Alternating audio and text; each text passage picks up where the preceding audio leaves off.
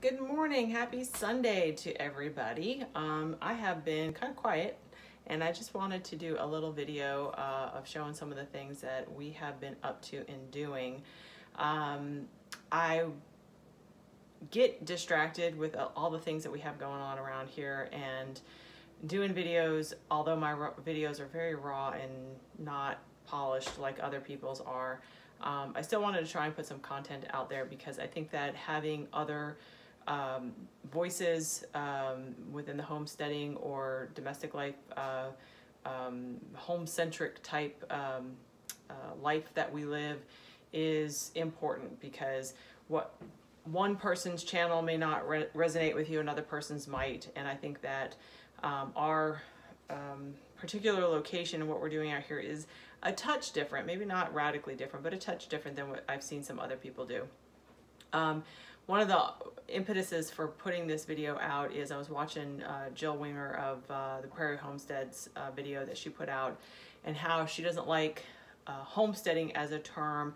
I kind of, I kind of, I kind of agree with her. I've actually uh, toyed with the idea instead of calling it a homestead, um, um, the the road that is adjacent to my property, it's actually called Home Place, uh, like officially, but nobody calls it that. Um, it's actually called Home Place Road. And I don't know if there's any kind of real label, and I, know we're, we're fans of labels in this world, but um, maybe that's better than homesteading. I don't really know. Um, I think that the old fashioned on purpose, the old ways are, uh, good and we have to a large extent been led down a path that has taken us away from that stuff and that's not good. Um, i'm always i'm always um, an advocate of of technology. I mean you know hello uh, if I got to go to work or I got to go someplace, I didn't walk to the store. Um, I didn't get on my horse and go or get into my, my horse drawn buggy and go. I got in my vehicle and I went, okay? And so there's lots of technologies that we embrace and we don't even think about it, electricity, all kinds of other things.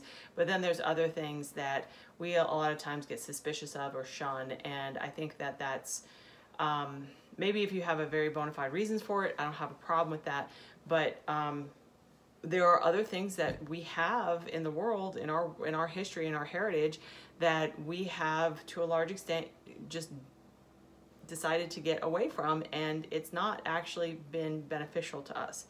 Um, on a very basic level one of the things that i got interested in and involved in this was actually through historical reenactments I had a friend who got involved in a historical reenactment, a big one down in Florida, and I went. Uh, they had a they had a public visitors day, and I went. I was blown away with all the stuff that I had seen. Um, it's it's called Alafia River Rendezvous. If uh, if anybody is down in Florida, it's in uh, home uh, homeland Florida, um, close to Bartow, um, and Fort Meade. Uh, it's in January, usually the third week or so of January is their public public days. So if you ever are interested and want to go and see it, you know, it's it's a Friday, Saturday, but they might have expanded it to Thursday, Friday, Saturday. So anyway, I went, I visited him. He showed me all kinds of stuff, and I was like, oh my gosh, this is just the coolest thing. And he was not too far away from where I lived and I was going to school at the time. So a lot of times when I was going to school, I was by his place and we'd, he'd show me other things. He'd teach me stuff and then I'd go to school and it was kind of a regular ritual that I had gotten involved in. And that was sort of like the, the primer, if you will, of some of the older technologies, things that I never had been exposed to. Um, I had a Nana that was raised on a farm, but when I was very young, she passed away. So you know, if, if some of those things, those country life skills, uh, that older mindset. Um, in fact, pretty much all of my grandparents were gone when I was little, like two, three years old. They were all gone. So I never had that experience of learning from an older generation of, you know, here's what you can do. Here's some of the cool things. Um, my friend, who's a little bit older than me, he uh, he ended up showing me some of that stuff and kind of took me under his wing, which I very much appreciated and in the process of doing that, I had gotten introduced to some different food ways and things like that that, um, you know, it can it, it, it's it's going down the rabbit hole. You just go, you know, almost in any different direction that you want to go into. Uh, there, there's so many different things that you can do. But one of the things that I had always been very concerned with was food because I never really thought that the food that we had at the grocery store was fantastic. Um, although I think you can get good options, but um, I had become suspicious of things that you know it was like you couldn't get organic food other than in a health food store for the longest time and then all of a sudden it's showing up in Walmart and you know you look at some of the testing it's it's it's not it's not good so anyway um, that's some of the things that we had initially started with and we were in no way shape or form on a farm we were in a little subdivision in Florida of, of all places and we definitely stuck out we did not fit in to our neighborhood. Fortunately, we had some really cool neighbors who, you know, we kept our backyard kind of like we had hedges and stuff so people really couldn't see in there. I had a garden back there, I had some, uh, you know, compost. I had other things that were going on back there, things that I did. And, you know, I was always willing to share with my neighbors and they were very happy to have like real tomatoes and, and those kinds of things. And I don't know, maybe we just, you, you know, they liked us or they didn't want to get on our bad side. I'm not sure which. Um, but we we we successfully were able to do a kind of a quasi homesteading type environment there in a very high density uh, neighborhood. I had baked bread. I did all kinds of different things, fermenting. That you know they talk about, um, you know, like in a, if you're in a homestead, whatever and I was able to do it and it was nice because eventually we knew that we wanted to be here on land and doing all the things that we do. Um, but I was able to work on a skill set and do little things um, and get proficient at those things. So by the time that we moved here and got severely overwhelmed with all of the work and the land and everything else. Um, I didn't have to worry about the little things. And, and let me tell you, as a side note, that when you move from one place to another and you don't know anybody, you don't have friends, you don't have family, it's very overwhelming and even lonely too. Um, so, I mean, that's that's probably the topic of a whole other video with with uh, you know where where you where you may decide to relocate to.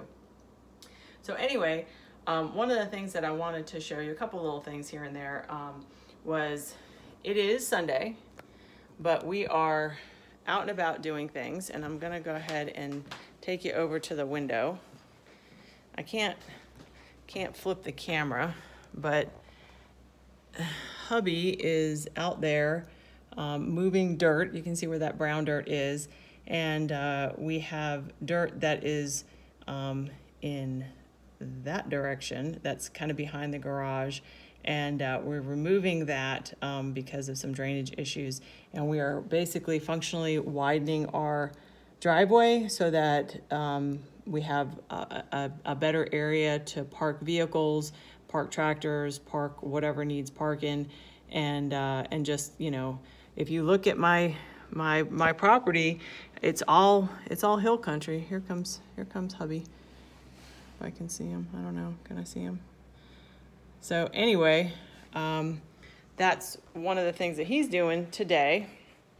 Um, and I am in the kitchen in here making some banana bread. And one of the things I wanted to show you, um, two things actually. Um, let me do this. Let me go back this way and set this up. Um, one of the really cool things as far as like some of the homesteading type skills is this cookbook right here, Nourishing Traditions. This is the first book that Sally, Fel Sally Fallon, now Sally Fallon Morell, um, put out about old foodways of traditional um, peoples across the globe that was based on the work of Dr. Weston Price. Um, you can look all this stuff up online. Um, you, a lot of times, even in my little small town, um, this this cookbook and, and research book was in my local library. I was actually shocked to see it. Good cook, good recipes, good information, goes into a lot of the science, the nutrition of why fermenting, why eating organ meats, why bone broth. In fact, Sally has put out, um, several more books, nourishing broths, uh, traditional diets. Um, all of that stuff is a little bit more focused in on what's in this book, um, but she expands, you know, the the information about why taking bones and cooking them and getting the gelatin and how that helps your joints and relieve pain and and that kind of stuff. Um, but anyway, what I'm making is banana bread because I have some old bananas that need to be cooked up. Um, and one of the things that I use and I do is I, when I make bread, I grind my own wheat, okay? So this deal right here is a Nutrimill. It's a grinder.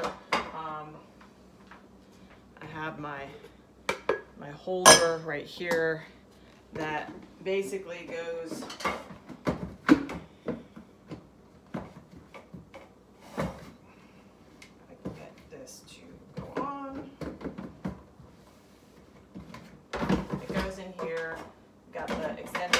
put in your, your uh, wheat in here, you set it, you know, you can grind it. It's an electric grinder. There's, there's manual grinders, but I wanted to have a, an electric one um, because it does make the job faster. Um, and they're not that much more expensive than a manual grinder. Um, but uh, you can have a better genetic variety of wheats, spelt, kamut, um, white wheats, red wheats, any kind, you can grind beans, you can make Ezekiel bread, you can do all kinds of stuff with these. They're really, really wonderful and better nutrition. So one of the things I wanted to show you real quick is I grinded up spelt. And so I have, actually I got a little, little ramekin. I'm gonna put some water in it. Okay, this is just water. This is not like buttermilk or whatever, which is what I'm doing for the banana bread. Um, and then I'm just taking some of the ground wheat and putting it in this, okay? So what happens, spoon. What happens with a lot of whole wheats is you've got the bran and you have other things in it that make it kind of not, not gel as good. It doesn't gel as good um, or mixes good into the water, um, it, it will stay like clumps of, of dry, right? So one of the things that I had learned when I was starting to bake bread, um, I'll put more in there just so you can see what I mean. Regular flour will just incorporate really nicely, but it's sort of, you can see it, it just kind of sits, right? So one of the things that we talk about in this is it's called sponging, which is basically you have the flour and you have your liquid. A lot of times buttermilk or whatever you. I can't use milk, so I use um, a, a, buttermilk substitute, which is basically like almond milk, a cup of almond milk, and a tablespoon of, of lemon juice. It creates the the acidity, so it's functionally the same. But then what happens is you sponge it. You let it sit for a little bit. Okay, I'm gonna have to turn this around so y'all can see better. Okay, so here's my, here is my clumpy, bumpy mixture, and then here is my um, almond milk mixture with flour. And it actually doesn't look too terribly bad. Now I have some other ingredients and stuff that I have to put in that and it's a little bit bumpy, but it's really not bad. It's absorbed a lot of the, the moisture and that's what sponging is. Sponging is basically allowing a much drier material to absorb the water, which is what you definitely want. So I'm gonna finish up making some of this banana bread and we will enjoy. Good seeing you.